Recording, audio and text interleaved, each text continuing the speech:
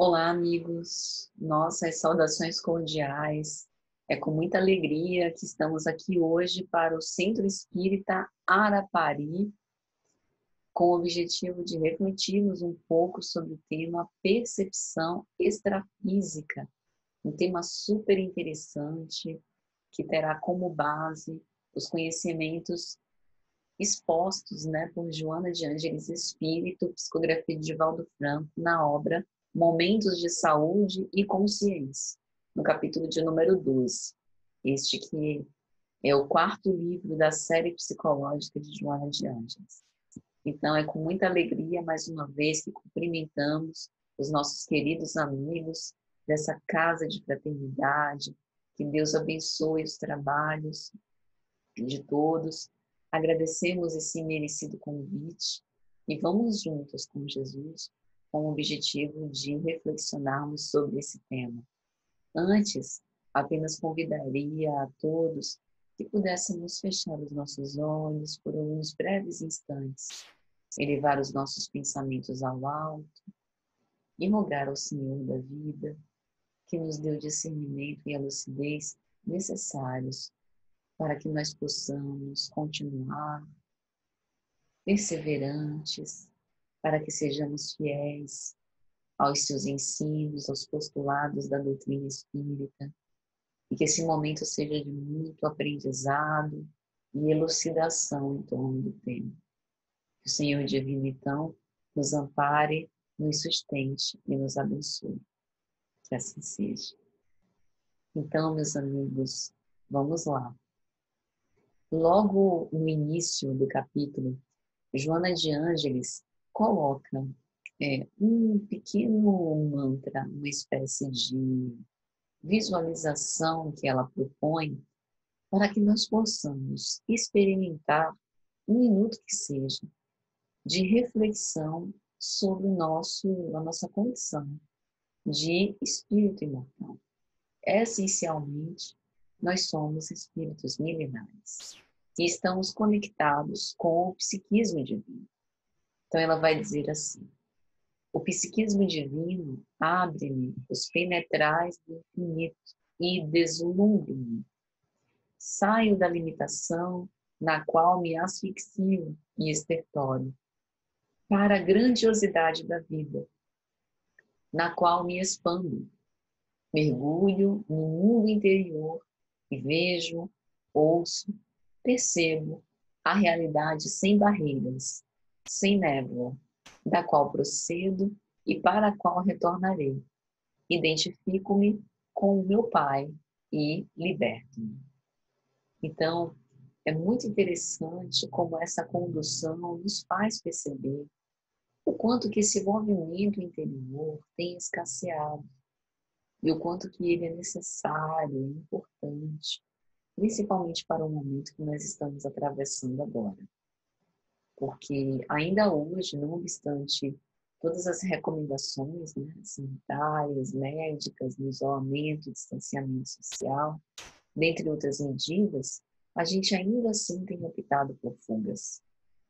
E esse caminho de descobrimento interior, às vezes é postergado, né? a gente procrastina esta observação mais íntima. E qual seria a razão disso?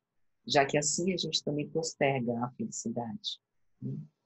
Então é importante a gente pensar que, especialmente nesses momentos conflitivos, aflitivos, desafiadores, nós podemos, digamos assim, melhorar a nossa sintonia com o alto e aurir deste contato extrafísico, dessa percepção, a força para poder seguir.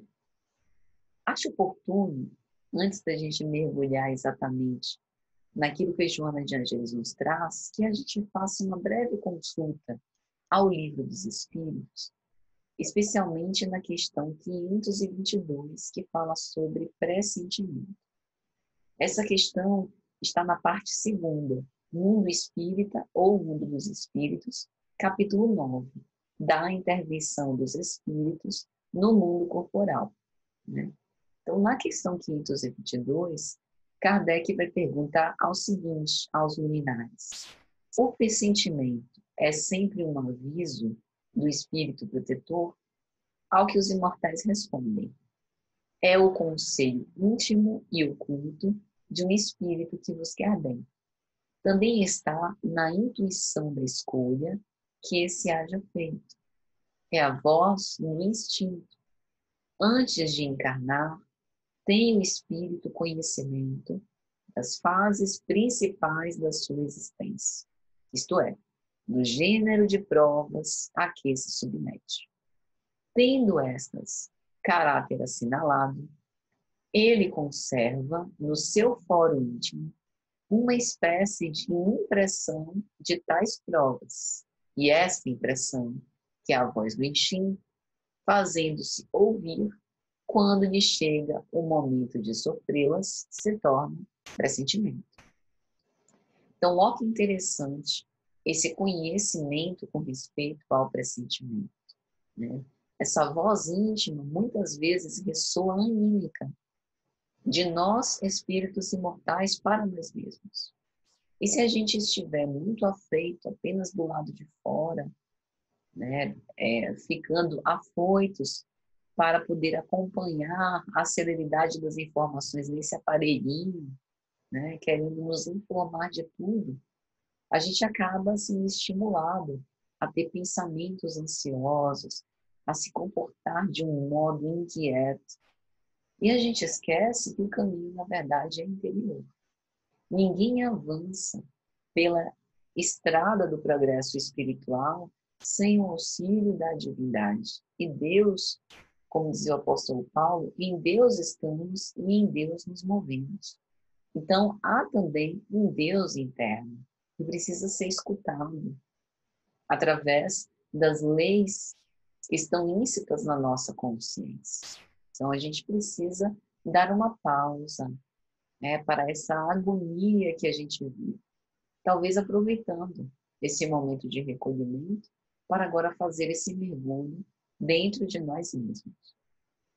Na obra No Mundo Maior, pelo Espírito André Luiz, no capítulo de número 7, Processo Redentor, a gente tem uma frase muito especial. É imprescindível amparar a mente humana na crosta planetária em seus deslocamentos naturais. Então, isso nos mostra que nós nunca estamos deserdados da sorte. Sempre seguimos acompanhados, os benfeitores espirituais, os nossos anjos guardiães, sempre estão atentos às nossas necessidades. Os nobres espíritos, guias da humanidade, emulam, né? acabam influenciando e socorrendo bom ânimo a nós que estamos em cursos na carne. Jesus, aos seus apóstolos, advertiu isso. Quando lá no capítulo 15 de João, versículo 7, ele vai dizer: Se permanecerdes em mim e minhas palavras permanecerem em vós, pedi o que quiserdes e vós o tereis. Ou seja, é condição básica de sintonia, de afinidade, de conquista espiritual que nós permaneçamos em Cristo e que as suas palavras permaneçam em nós. Porque senão nós vamos crucificar o Cristo de novo internamente. Então há diversas formas da gente estimular essa percepção extrafísica, não apenas pela mediunidade ostensiva. Quando a gente se concentra numa rogativa em oração, nós estamos, digamos assim, abrindo os nossos canais sensoriais para nos colocar mais permeáveis às boas intuições, como se fosse um conselho íntimo que ouvíssemos do nosso espírito protetor. Quando nós nos policiamos e nos vigilamos para elevar os nossos pensamentos ao alto, né, nós estamos em silêncio rogando o auxílio para que a gente busque esse ideal interno. Quando a gente se sacrifica, investe tempo, se dedica para controlar as nossas emoções, a gente também está agindo desse modo, né, com o objetivo de que a gente possa vencer a nós mesmos. Então, é, como né, os próprios espíritos que se manifestam na codificação para auxiliar Kardec nos dizem, nós previamente, antes de reencarnar, conhecemos algumas ocorrências que estejam mais relacionadas ao nosso gênero de provas. E isso acaba funcionando como uma intuição íntima, voz do instinto, que vai ressurgir no momento propício, quando for mais apropriado para o nosso sucesso. Então, o pressentimento acaba sendo como uma maneira eficaz para a criatura parar e reflexionar em torno do que deve realizar e de como deve se conduzir. A gente está utilizando o termo pressentimento para indicar como a informação ou a intuição advinda dessa percepção extrafísica. Né? É, na obra Paulo Estevam, pelo Espírito Emmanuel, principalmente no capítulo 5 da segunda parte, Lutas pelo Evangelho, né? tem ali diversos momentos, mesmo porque a mediunidade dos apóstolos era muito estuante, né? havia o fenômeno das vozes diretas com relativa facilidade naquele tempo da igreja cristã primitiva. Então tem um momento em especial que é bem conhecido, quando Tiago e Paulo de Tarso é, começam a discutir com respeito a algumas é, imposições, digamos assim, do judaísmo que Tiago tentava impor aos novos cristãos, aqueles recém-convertidos sobretudo os que eram gentios, que é, por exemplo, a circuncisão. E Paulo se coloca de um modo bastante enfático e exige de Pedro que Pedro se posicione. E aí Emmanuel vai narrar o panorama psicológico, digamos assim, dos personagens, né? quando ele vai dizer, naquela hora, o ex-pescador, referindo-se a Pedro, rogou a Jesus lhe concedesse a inspiração necessária para a fiel observância dos seus deveres. Uma força oculta conduzia-o a ponderar o madeiro com atenção. A cruz do Cristo parecia-lhe agora um símbolo perfeito de equilíbrio. Era preciso ser justo, sem parcialidade ou falsa inclinação. Então veja que a intuição vem de um movimento do ser, de elevar os pensamentos ao alto e pedir ajuda. E a gente pode utilizar isso em diversos momentos da nossa marcha. E o Evangelho segundo o Espiritismo, no capítulo destinado a preces, a gente tem lá preces para pedir um conselho, né? para quietar as nossas emoções. Então a gente precisa entender que todos esses recursos, eles estão disponíveis a nós para que a gente possa se afinar. Mas essa percepção extrafísica, digamos assim, ela tem duas polaridades né, principais. Ela não é apenas é, o contato com os benfeitores espirituais. Caso a conduta individual nossa seja reprochável, caracterizada pela rebeldia sistemática, né, essas percepções se apresentam como uma manifestação maléfica e perturbadora. A gente vê, por exemplo, na obra Boa Nova, pelo espírito Humberto de Campos, no capítulo 24, que fala sobre Judas, a ilusão do discípulo, é, Humberto de Campos vai narrar que o mau discípulo, com um oceano de dor na consciência, né, depois de ter vendido, digamos assim, o amigo de todas as horas, incomparável, pelas 30 moedas, peregrinou em derredor do casario maldito, acalentando o propósito de desertar do mundo numa suprema traição com respeito aos compromissos mais sagrados da vida. Então, se a gente também está em torvelinho emocional e não se esforça para equilibrar as nossas emoções, provavelmente nós também receberemos essa influência, nos sintonizaremos com as mentes encarnadas e desencarnadas, que estão ali vibrando naquela mesma frequência. Então, a gente precisa ter uma análise clara e tranquila para avaliar a constituição dos nossos pensamentos. Por isso, o que a gente percebe, os alvitres, os conselhos, as intuições que a gente tem, até os pensamentos, as visões, é necessário submeter, sem exceção, tudo à razão, para que a gente não possa introjetar aquilo que necessariamente seja perverso ou que vá nos fazer mal. E entender também que, ao mesmo tempo, vão ressomando do nosso inconsciente diversas recordações, a depender dos passos da nossa vida, né? dos traços é, que a gente tenha na nossa caminhada, que acabam defluindo desse processo de programação que o espírito assumiu antes da reencarnação. Né?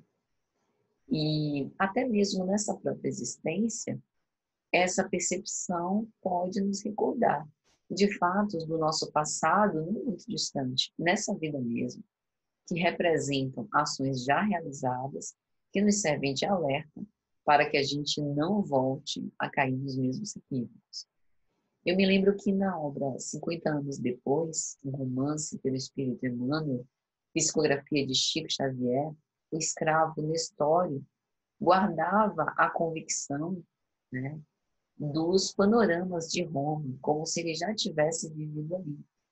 E de fato, nessa obra, a gente vê Nestório como a reencarnação de Emmanuel, que retorna ao planeta 50 anos depois depois de ter sido senador romano Publius Lentulus na obra Há Dois Mil Anos.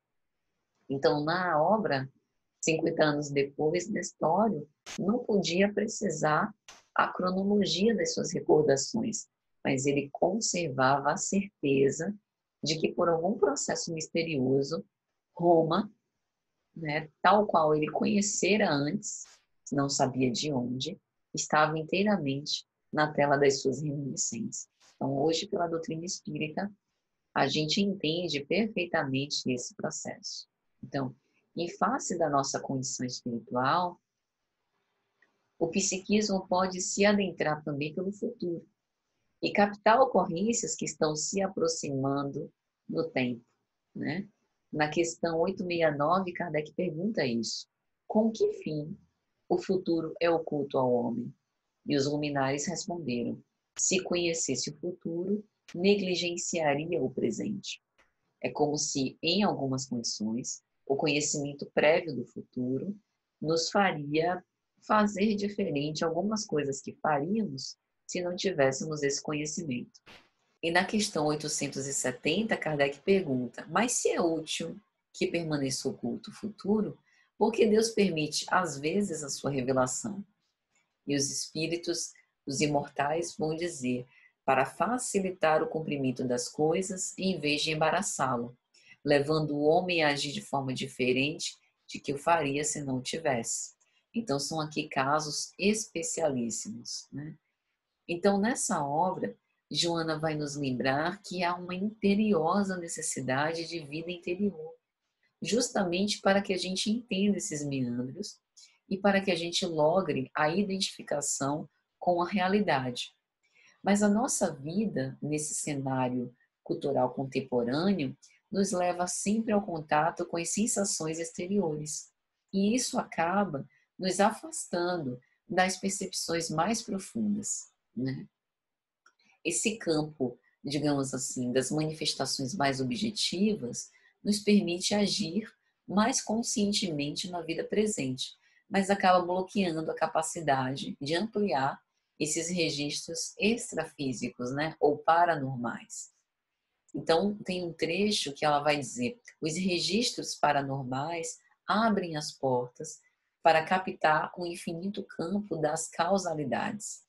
É um fato concreto. Nós estamos mergulhados num oceano de vibrações e de energia. Estamos envolvidos por ondas e pensamentos incessantes.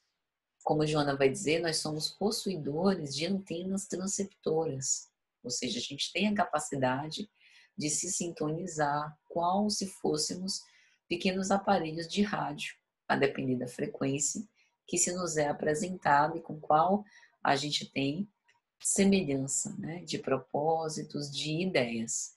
Então, é nos facultado agir em consonância com o que nos apraz. A gente não precisa ser presa desses pensamentos, introjetando tudo que nos é intuído, como se a gente não tivesse vontade própria. Nós podemos utilizar o livre-arbítrio para apurar, digamos assim, essa, essa sintonia. E ela vai falar dos diversos tipos, né? Há faixas de telepatia, intuição, clarividência, clareaudiência, inspiração, pré-cognição, retrocognição. Por quê? Porque nós somos instrumentos de intercâmbio psíquico permanente, sem que a gente se dê conta.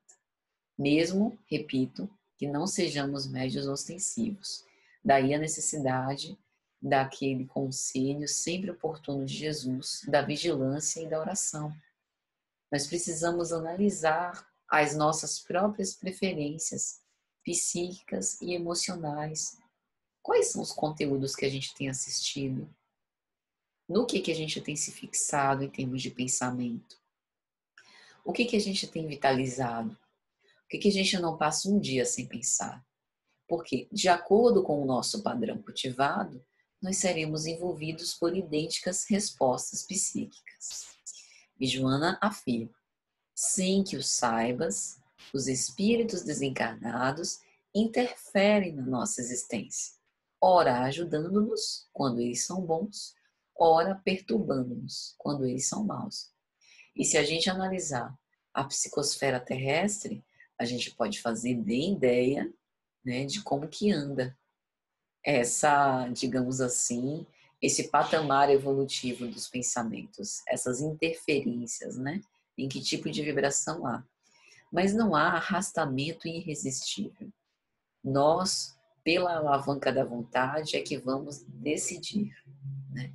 É bem verdade que por vezes a gente conserva fragilidades emocionais, é, enfermidades da alma, que a gente pode chamar como brechas morais, que espíritos que muitas vezes nem têm pessoalmente a intenção de nos fazer mal, que não foram exatamente os nossos desafetos de outrora, mas acabam se sentindo atraído, atraídos por nós porque a gente conserva aquela melancolia injustificável, a gente se coloca sempre num estado de desânimo paralisante, a gente cultiva a hora vazia, então, alguns tentam nos fazer sofrer por ignorância, outros por perversidade ou por acomodação e inveja. Então, está nas nossas mãos assumir as rédeas dos nossos pensamentos e também da nossa vida. E aí, meus amigos, Joana aponta a terapêutica proposta para que a gente possa fazer dessa percepção extrafísica um móvel é, de evolução e para que a gente tenha uma experiência mais feliz desde a vida presente. Primeiro, fazer silêncio interior nos moralizando. Fazer silêncio interior não é simplesmente ficar em silêncio, não falar nada. Porque a gente não fala, mas os nossos pensamentos continuam ressurgindo à nossa cabeça a gente também não deve se neurotizar né, para chegar naquele ponto que não vem nenhum pensamento à nossa cabeça. Né? Isso é bastante atormentador pensar nisso. Então, fazer silêncio interior é deixar vir esses pensamentos, mas não impor nenhuma atenção, não fazer nenhum investimento neles. Deixar que eles se expressem com naturalidade, com leveza, mas também permitir substituí-los por outros que nos sejam mais, digamos assim, associados, né? mais relacionados com o panorama que a gente quer vitalizar. A moralização, ela não ocorre no sentido de evangelização da noite para o dia. A gente vai vencendo a nós mesmos a cada afronta que a gente não reage, a cada insulto que a gente não devolve. Né? E isso é um processo, assim, constante. né? um processo contínuo. Então a gente deve se permear por essa partilha de sabedoria e amor dos espíritos, porque nós não vamos extirpar o nosso lado mais sombrio e obscuro à base da violência.